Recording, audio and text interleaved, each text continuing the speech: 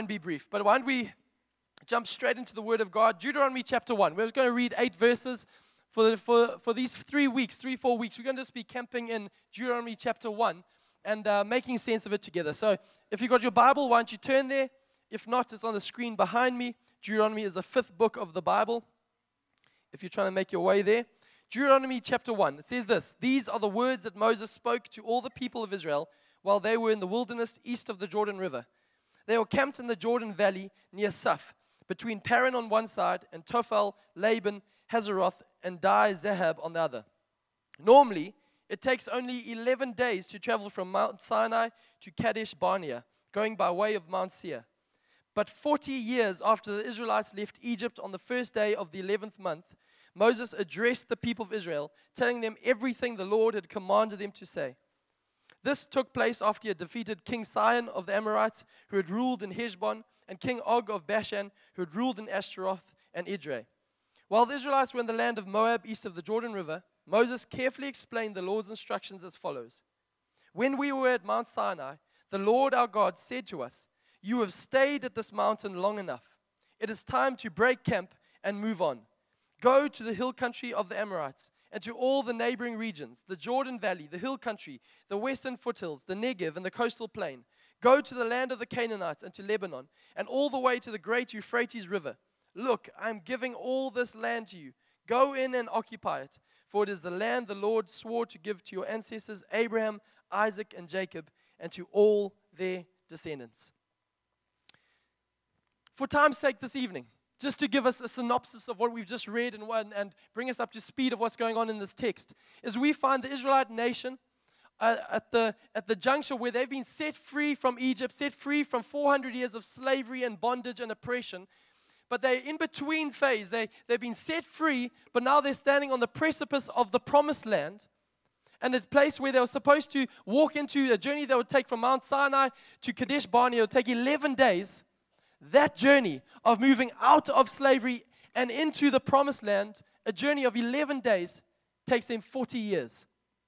40 years. 11 days becomes 40 years. And actually, this incredible moment where Moses has led them as uh, almost a transition, transition moment, transition moment, where they're standing on the very edge, looking into the promised land, looking in into the promises of God, looking into their inheritance, their future, what God has got for them. They fall short and they're unable to move forward and in, in, inherit what God has got. This, this incredible tragedy is actually, we, it tell, goes on and tells us that this whole generation, a whole generation who saw the mighty hand of God in Egypt, who saw God work his mighty, miraculous power in setting them free from the Egyptians and from Pharaoh's uh, oppression, the people who saw all of God's miracles, that whole generation did not enter into the promised land. A journey of 11 days took 40 years. I don't know about you, but as I've read that and as we, it's been stirring in our hearts the last couple of weeks, I, I, I would wonder maybe you're here tonight and you're like me and you feel often you, you're living on the edge of your potential. The edge of, of, of the things that God's got from you, the edge of the supernatural breaking out, the edge of the impossible happening, the edge of, of breakthrough, and yet it feels like you never seem to quite live in it. The edge of promise, the edge of maybe God's going to do something amazing in my life, but I'm never quite walking into it. This evening, I want to help us understand this reality and help us break camp and move into what God has got for us by just very quickly and briefly this evening giving us just some nuggets to chew on for the week ahead and to stir our faith a little bit. I want to introduce you to something this evening that I, have I've called Take the Plunge Faith. So, why don't you say that to your neighbor? Why don't you tell them, Take the plunge? Now turn to the person you ignored and tell them as well, you too, take the plunge.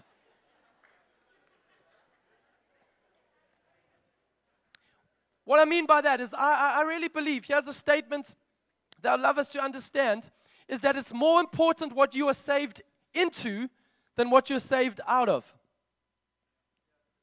Let me say it in a different way. It's more important what you're saved for than what you're saved from. You see, for this generation, they marveled at what God had saved them from, but they weren't able to inherit what God had saved them for. And I think so often for the tragedy for the church is that the most wild thing about us is the sin that God saved us from. But ever since that moment, we've run out of testimonies. We've run out of stories of God's goodness because we've left ourselves on the edge of breakthrough, on the edge of inheritance, on the edge of promise, but never quite walking into it. I want to say it in this way faith honors God, and God honors faith. The most simplistic way of viewing Christianity is that faith honors God and God honors faith. Here's the amazing thing about faith the Bible in the book of Romans tells us that faith comes by hearing the word of God. So, as the word of God is preached, something supernatural happens in our heart. Faith starts to rise up. So, faith comes when we hear the word of God. But there's something even more remarkable. In the book of Hebrews, we are told that, that the, the, the Israelites could not, in, uh, the word of God was of no value for them because they did not mix it with faith. So, when I read those, I feel they almost like sound contradictory. It says, faith comes by hearing the word. But another part says the word can't come to them with any power because they did not mix it with faith. So which one comes first, the word or faith? I'll say both. It's the, it's, the, it's, the, it's the remarkable nature of the kingdom of God that actually He calls us into partnership with Him. And He says, Actually, I want you to partner with me in faith. You see, in the book of uh, Luke, chapter 1, He says the statement Nothing is impossible with God. Please note that the scripture doesn't say nothing is impossible for God. That is true. Nothing is impossible for God. But the scripture, when the angel Gabriel speaks to Mary about the impregnation by the Holy Spirit of Jesus inside her womb, he says, Nothing is impossible with God. And with that, it might seem like semantics to you, but I want to tell you that one word changes just a statement of observing God from a distance. Yes, God, it can, it's possible for you, but God says, No, it's, um, it's possible with me. He invites us into partnership. And faith is the language for you and I to partner with God. And I want to stir our hearts this evening a little bit and give us a little bit of language on how we can partner with God, taking the plunge and inheriting the promises He's got for us. Are you okay for that? Good. I'm excited. So, this evening, before we say one more word, let's pray very quickly. Father, I pray in our brief time together this evening, would you awaken our hearts? Would you strip us of all safe, secluded, sanitized living? Would you strip us of everything that causes us to settle for second best? And I pray, God, tonight, would you stir our hearts to take the plunge, to trust you, God, where we've never trusted you before. I thank you, Father God, that you have the best ahead of us. And tonight we choose to look in that direction and take steps towards it. In Jesus' name I pray. Amen. The year was 2009, December to be exact. And I was living in Durban. And uh, the moment came where I had just finished university and I'd studied marketing there for three years. But I, all the way through studying, I, I, had only this one driving passion. All I wanted to do is, was spend my life preaching the gospel. That's all I wanted to do. I had no other great ambition. I just, uh, the four P's of marketing were, were fun, but I, I just wanted to preach Jesus and be involved in building his local church story. But I didn't know how to go about that. Because I, I thought, do you, do you put out a, a CV on LinkedIn? How, how, do I go about this journey? You know, I, I've got a, a marketing degree, but how do I get involved in ministry full time? And this journey, as I was wrestling with it, that God was amazing in the partnering with a local church. At the end of three years, they offered me a job in Durban. The thing that seemed to be my deepest desire, deepest dream, they said, We want you to come on staff and lead the youth here in Durban. And I was like, This is so exciting.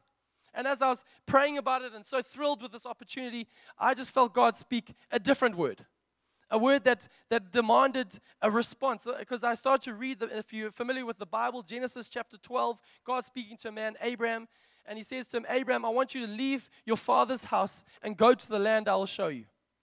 And I read that phrase, and at this stage, I was living at home with mom and dad, and I appropriated that scripture, not just for Abraham, but for me in that moment, rightly or wrongly. But I, I felt God speak to me saying, actually, your future is not in the safe passage of just taking the job that's available for you here.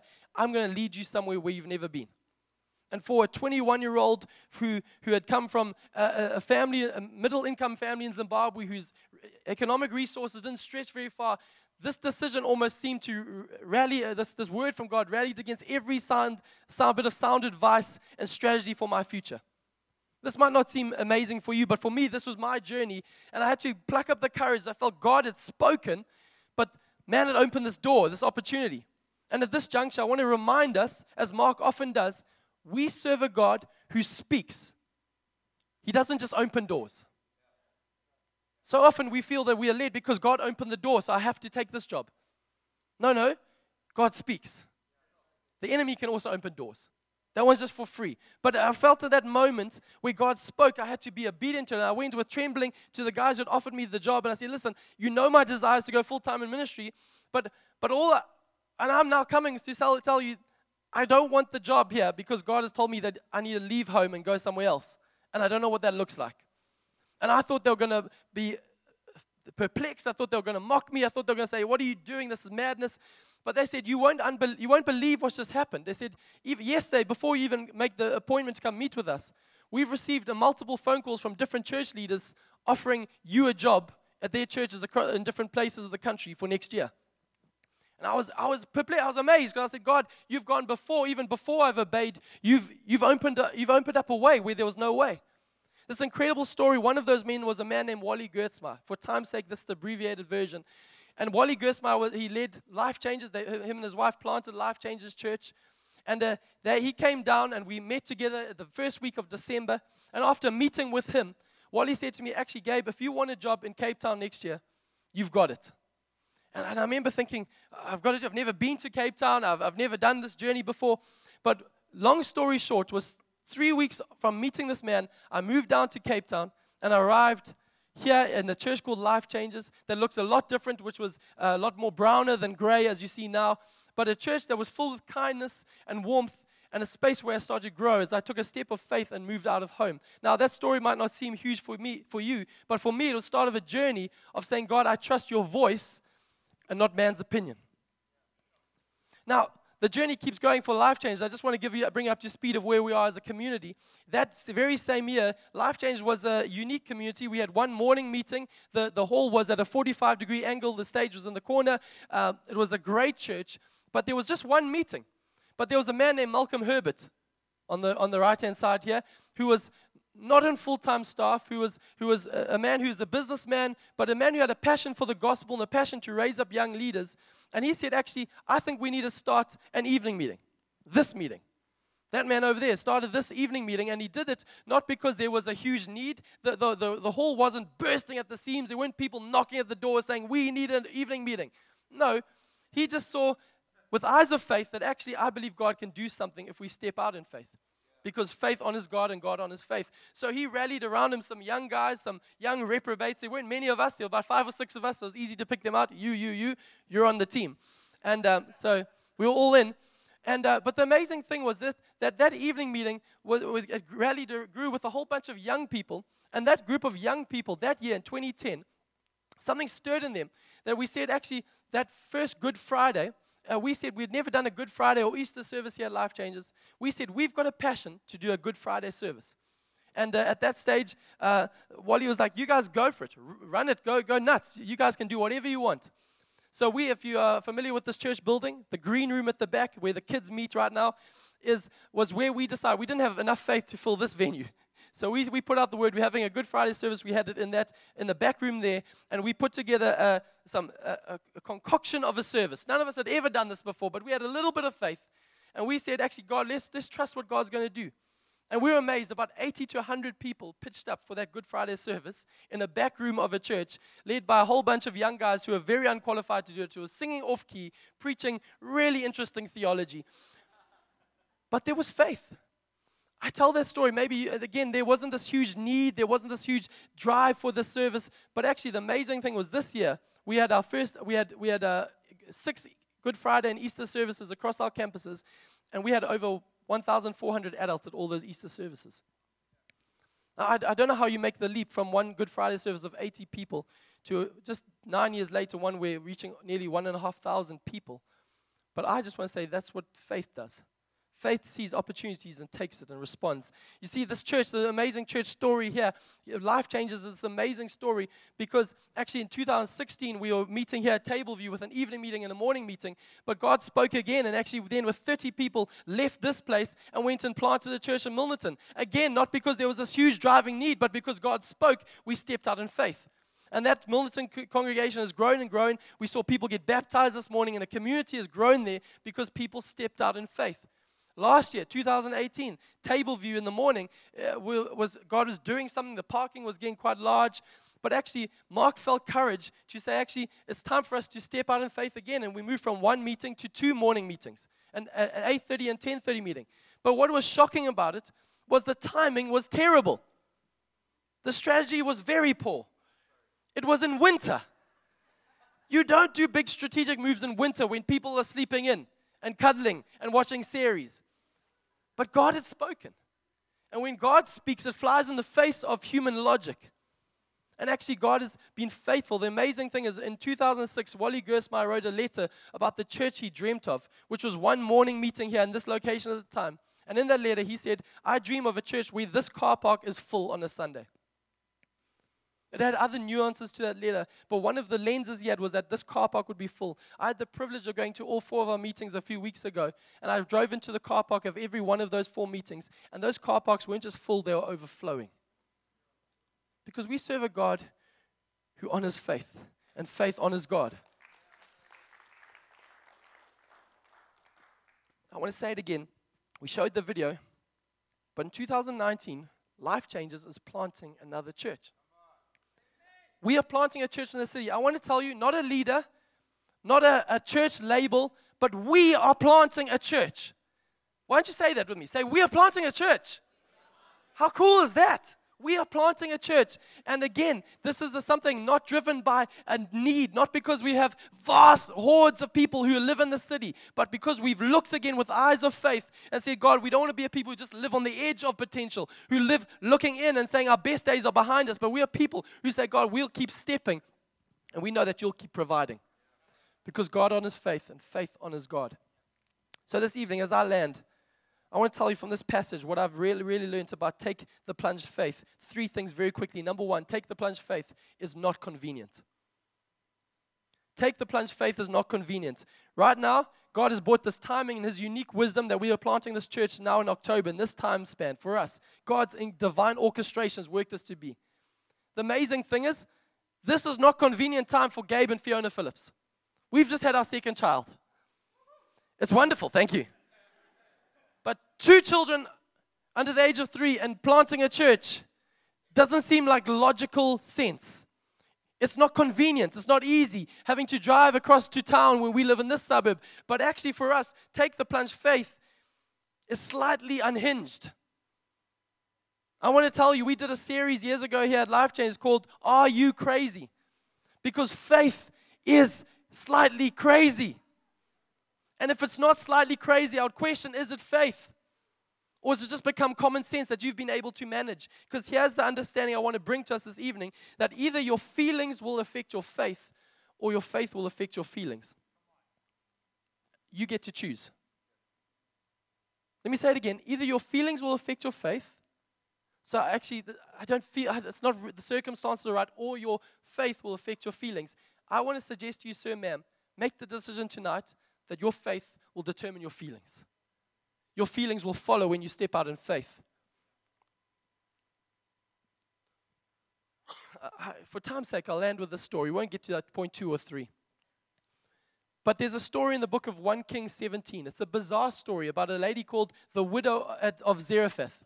The widow of Zarephath, a great story. 1 King 17. Go read it at home for, for your own uh, for your own pleasure. It's just this beautiful story about a woman who has lost her husband. She has one son. And, uh, and it's a time of famine, time of great famine in the land. And it says that there's a huge uh, economic recession. And she is running out of strength and energy. And she says she's only got enough resources left for one more meal. So the story picks up and introduces us to the widow of Zarephath picking up sticks for a fire because she's going home to make and cook that last meal before it says, before her and her son would lie down and die. Quite a macabre story. But then the story takes a turn. It says, the prophet of God at that moment, the man of God, Elijah, walks into that story at that moment.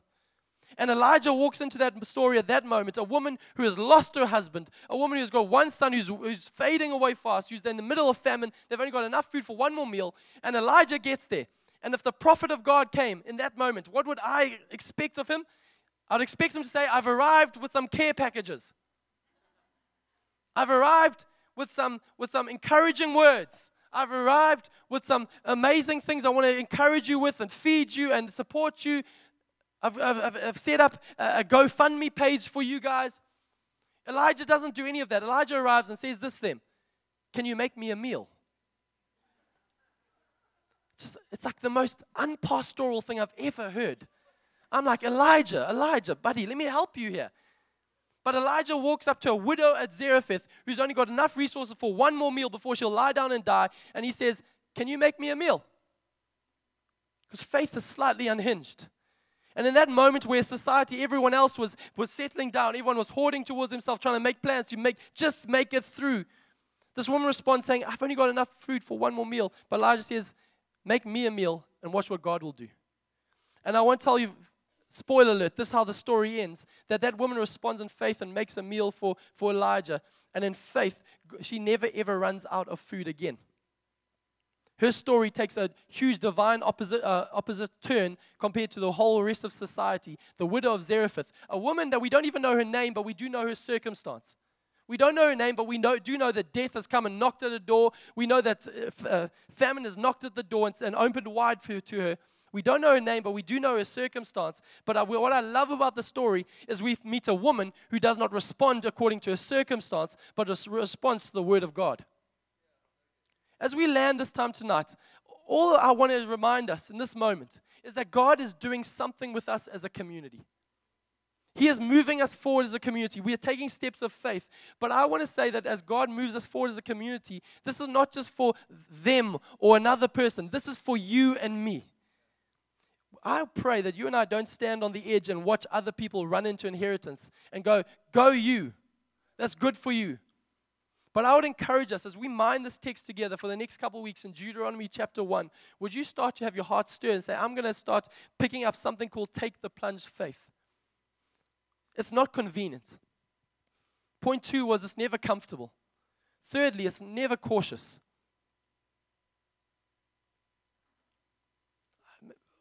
Practically, if you've never been baptized, take the plunge, literally and metaphorically. Sign up tonight because actually, if you want, sometimes we want revelation from God. If you want revelation from God, here's a good way to get more revelation be obedient with what He's already told you. Be obedient with what He's already spoken because then He can trust you with the more. This evening, as we land, I, I, really pray that God is fueling our hearts as we have worshiped Him, as Mike has brought that word that encouraged our hearts to posture that He is Lord of all, as we've celebrated people partnering with a local church, as we've allowed the Word of God for a, a short while just to settle on us and call us out of smallness, call us out of the edge and the peripheral, to actually say, I'm going to trust you, Jesus, and break camp and take the plunge. I pray that our hearts won't just be stirred, but we'll be changed. Why don't we stand to our feet in this moment?